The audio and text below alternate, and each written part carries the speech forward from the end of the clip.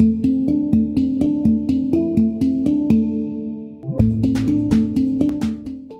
here we have a preliminary demo using three different uh, signals simultaneously, starting with the same file source we had before.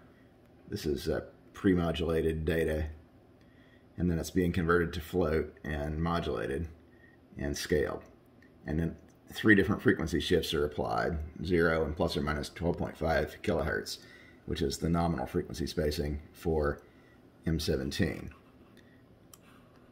And then they're added together and resampled and transmitted by the Pluto.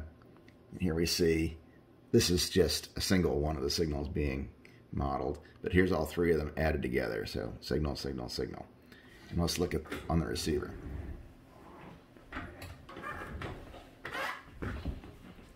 On the web receiver, here's the three signals.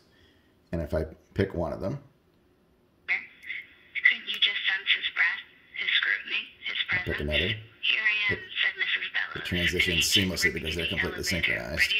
But we have three different signals transmitting the same thing. Now let's try a version that has three different signals.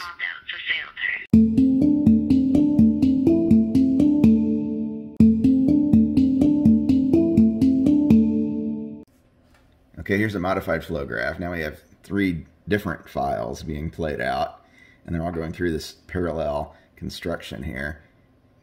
Short to float, frequency modulator, scaling, and then the three different frequency shifts being added up, resampled, and transmitted. So let's run it.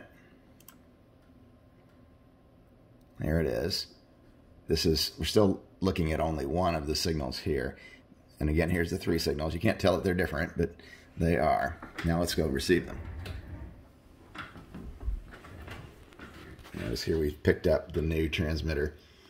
So let's pick the center one. To make it happen, there are two important things. I'll pick one, the plus 12.5.